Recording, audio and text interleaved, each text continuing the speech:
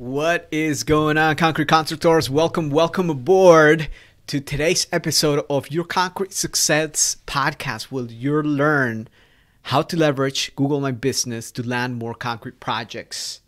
How to leverage Google My Business to land more concrete projects. So if you're you're watching this here on YouTube, welcome aboard. My name is Danny Barrera. I am the founder of Concrete Marketing Crew. And if you don't know who we are, we are a digital marketing agency specialized in helping concrete contractors and decorative concrete contractors land more projects online, blow up their online presence, and get found online without having to rely on lead vendors or general contractors to send them jobs. So here's the bottom line. Today's episode is about how to leverage Google My Business to land more concrete projects. And uh, if you want to check out our website, just go to concretemarketingcrew.com and get our copy of our free internet marketing guide for concrete contractors. All right, let's get started right now. So, first thing is what is Google My Business? Google My Business, in its simplest form, is the listing that Google provides to local businesses and local contractors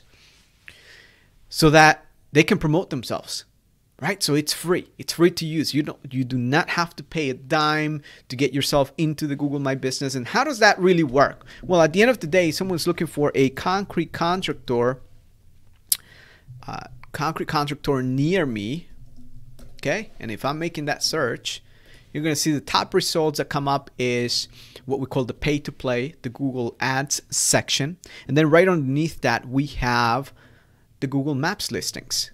And each listing that you see here is a Google My Business listing. So, first and foremost, if you don't have, okay, if you're a real business, a real concrete contractor with a registered business, a real company, and you have not yet claimed your Google My Business listing, go ahead and claim your Google My Business listing. So by default, Google looks at all these business directories and they scan and they crawl. And sometimes they detect businesses that have not done a manual insertion or a, a manual listing uh, creation for a Google My Business listing. So in that case, what they do is they just go ahead and pull the, the business name that they find there. They pull the, the uh, business phone number that they find that they can locate, and they crawl all these other different business directories uh, to gather that data. Uh, but the point I'm making is if you have not claimed yours yet and one exists, it's as easy as clicking on the link uh, that you see there and then you can click on own this business with a question mark and you can see that and if that was me I can actually claim this business by going through it. So if you have not claimed your Google My Business listing make sure that you do. That is problem number one is contractors that they just let uh, whatever Google has out there just be out there and not take ownership. Now here's the thing. If you want to claim it don't have someone else that is either an employee outside of yourself or outside of what you can control claim that listing. Because if anything happens to that person right anything happens whether they leave you fire them whatever the case is okay you're to have problems getting access and it takes about two to three weeks to get your google my business listing back. So make sure that you claim it. To do that go to uh, google.com and type google my business and as soon as you get there uh, you can go ahead and uh, sign in and claim your listing. And it's as easy as that and if there is no listing with your business name you can go ahead and create one and make sure that the phone number that's used in there is a real business phone number or it's a line that you are going to be using as a business dedicated business phone number. Now there is a test that i want to tell you uh, how to leverage your google my business listing. Well uh, there's a test that you got to run through which is taking your phone number and make sure that that phone number okay like you see these guys right here they don't even have a phone number right here. They, they don't even have a phone number. But uh, take the phone number that you have and what you want to do is you want to google that phone number that you're deciding using and you want to see what's associated to that phone number. If it's the actual business and it's already in other business directories as is as is um, you know if as is your business your real business number then uh, you're fine. But if it's showing up, like a lot of times we see new contractors, especially where they grab a phone number, they want to use their cell phone, and we make a search for that cell phone. That cell phone might have been associated to someone else before or a different business entity. So make sure that that business phone number is dedicated to your business and it's the one that you use for your business matters, right? So uh, that's number two. And then let's talk about the address. What address should you be using for your listing? Well, it is highly suggested is that you get an address or you you have an office in the area that you service, at least in the major area. So if I am a concrete contractor in Miami and I want to rank in Miami, or say my service area is Miami, Florida, I want to have an address in Miami. I don't want to have an address in Fort Lauderdale and try to rank in Miami. It's simply not going to happen, right? So make sure that you do have an address in the locale where you want to service in that area, that service area. Now, there are ways to optimize a Google My Business listing uh, so that it goes outside of the radius, but that is outside of the norm. Uh, that is outside of what is recommended. So, for starters, make sure that your name is the real business name. You're not making it up. Number two is the phone number you're using. It's a real phone number that's uniquely assigned to that Google My Business listing. Number three, is the address.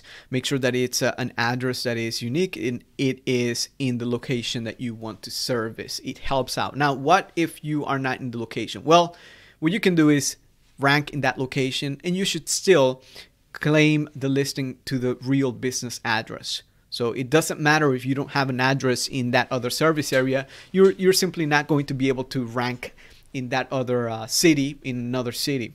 So taking the Fort Lauderdale example, for example, you will be able to rank in Fort Lauderdale if your address is in Fort Lauderdale, but you will not be showing up in Miami unless someone looks you up by your business name. So that is something to consider. Now, uh, going to the next step right here is uh, as you're leveraging your Google My Business listing, you claim it, you claim ownership. The next step is for you to make sure that you have your website added. And if you're watching this, you can you can see that these guys right here don't have their website. They have the phone number, the phone number is showing up, the address is showing up, but there is no phone, no website here. So make sure that you do have a website linked up to your Google My Business listing, your real website, and that your website is optimized because Google reads and crawls your website and it gives it a boost. The next step is to start getting some reviews.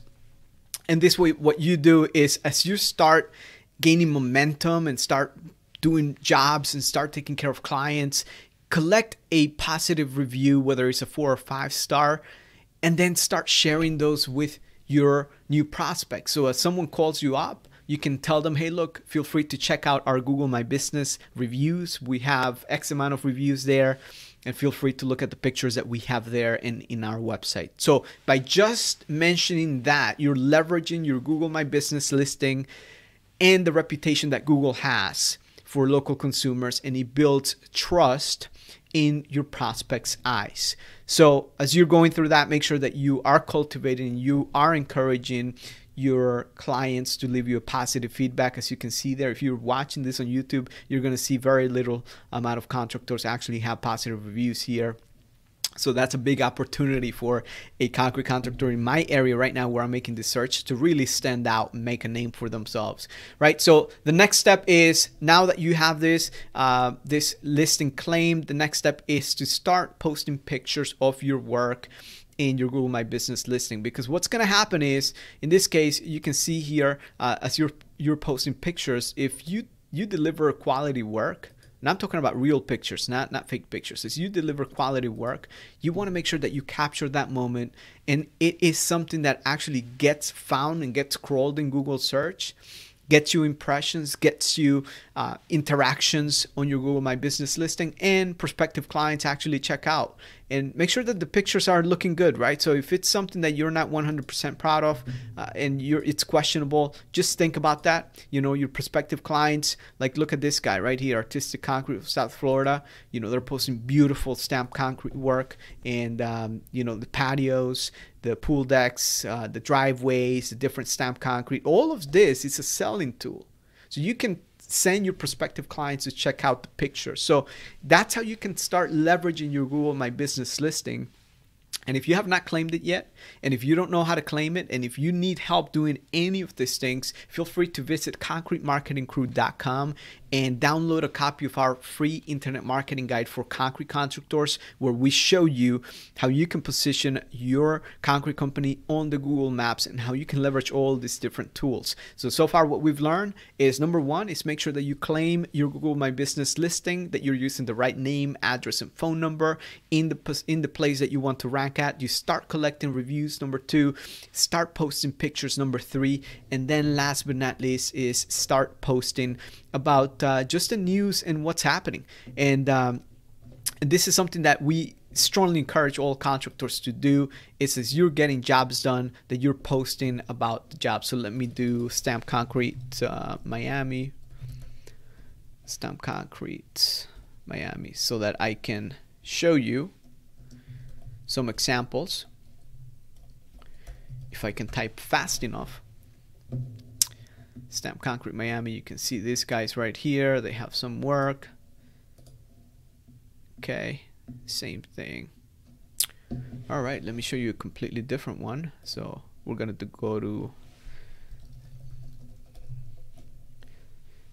show you this this listing right here, and uh, we have what we call the Google My Business posts. And what you do is you take your Google My Business login, you log into it on a phone application called Google My Business. And as you log in, you start posting pictures of your work right there as a post. Not just uploading pictures, but make a post that describes what that job is about, the job that you completed. Now, what you do is once you actually finish publishing that post, you click on the share button and you can share it right to your Facebook feed.